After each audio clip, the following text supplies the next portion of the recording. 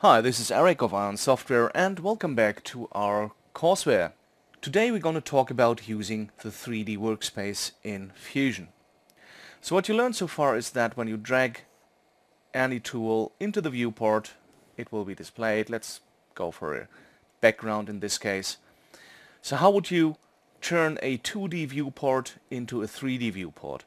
Well that's quite easy in Fusion. Let's add a tool, in this case a Shape 3D.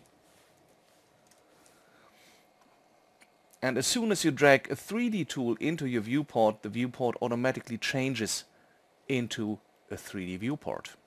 Navigating in 3D is quite similar to the way it works in 2D. So with your middle mouse button you can pan left, right and up, down. With the middle and the left mouse button you can zoom in and out and with the middle mouse button and the Alt key you can rotate around your scene. What we have here is one of the uh, simple primitives that come with Fusion. You can also import FBX models from other applications, but that will be covered in a later tutorial. So the 3D shapes in Fusion can be planes, cubes, sphere, cylinders, cones, toruses or icosahedras. And what you also see is when you use a 3D viewport, the buttons underneath the viewport do change. So from the normal set of buttons we have in a 2D viewport, those in the 3D viewport look a little bit different. First off, you can switch on the lighting in your scene, which will place a default light if there's no light in your scene, or will display the influence your lights have on your objects. You can also switch to wireframe mode, and you can also switch on shadows or switch off shadows if you have any shadow casting lights and you can also switch from fast shading to full shading mode. You can switch on quad view for those of you who like to work in a quad view environment. You have your stereo options down here which means that you can work in stereo directly in your 3D viewport. You have your well-known A-B split buttons here and your zoom controls. Let's build a little 3D scene and in this case I just add a duplicate 3D tool and I'm going to use the jitter function in this case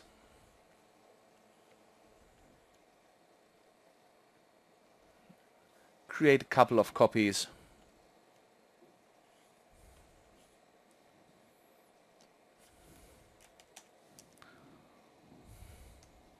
like so. Let's go back to the initial shape for a moment. In the controls tab you can not only change the way your shape looks, you can also set the level of subdivision, which is best judged in wireframe mode. And you have controls for the visibility, so you can create objects that are unseen by the camera. You can cull the back face, cull the front face. You can switch on if these objects are affected by lights or not, if they cast shadows, if they receive shadows. You can also make them into matte objects which means that they are actually subtracted from the current scene and you can set their blend modes. There are two different blend modes here, one for the OpenGL renderer, I will explain that later on, and one for the software blend mode. In the OpenGL blend mode you have additive, subtractive and accumulate and the software blend mode, all those blend modes you know from the merge for example. To better see which influence these blend modes have it makes sense to go to your Materials tab. By default the shape uses a very basic material, it's a blend shader in this case, but you can attach different materials using Fusion's material system as well. Again that will be covered in a later tutorial. In the basic blend shader you can set the color, the alpha channel and of course the opacity of your materials. And if we bring down the opacity you see that now the blend modes, in this case in OpenGL, actually make sense. Back to the Materials tab, you can also set if this material receives lighting and shadows, or if it should be two-sided, which again shows up best if we have a opacity smaller than 1. You can also set the material ID, the transmittance when you're working with uh, shadow casting lights, and the values for the specular highlight as well. Let's bring up the opacity again and add a second shape 3D. Actually, let's just copy and paste our original shape, then connect the output of the shape with the output of the duplicate 3D and very much the same as it works in the 2D environment, Fusion automatically creates a merge 3D to bring our two objects together. Let's make this a sphere.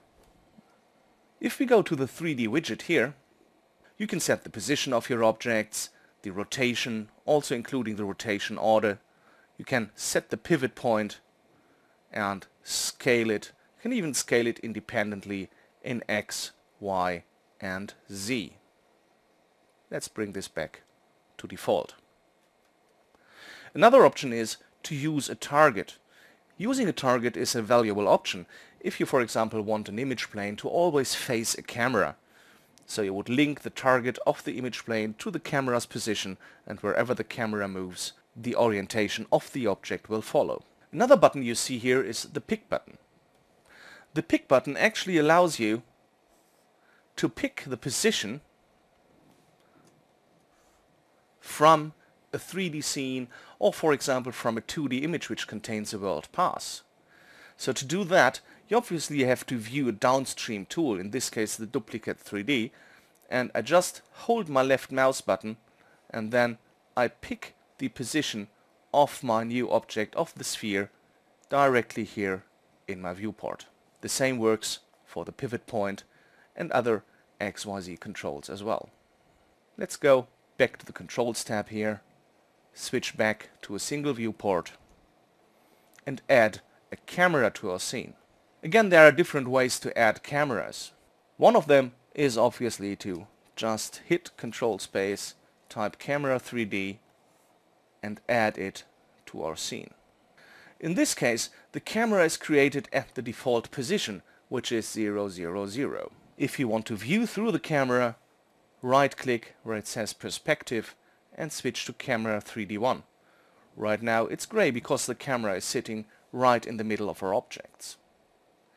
To move a camera like that, you can either view the scene in your second viewport and move the camera around, or you can do it interactively directly in your viewport the same way as you would navigate through a perspective viewport. That means middle click to pan around, middle and left to zoom out, middle and alt to rotate your camera. For example, like so. Let's switch back to our original perspective viewport for a moment. A second method of adding a camera is to take the camera icon from up here and drag and drop it on your active 3D viewport. If you let go the mouse, Fusion will not only create a camera and connect it to your 3D merge, it will also set the current viewport to be the viewport of the camera and also switches to the newly created camera.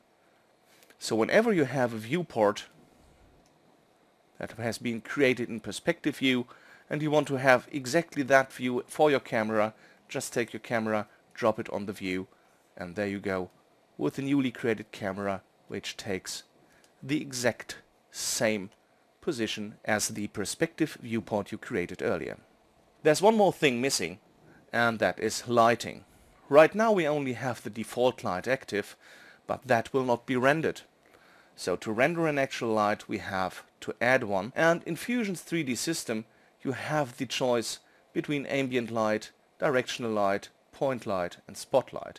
Let's take a simple point light in this case as we will talk about lighting again in a later tutorial and let's move this around a little bit to adjust my lighting.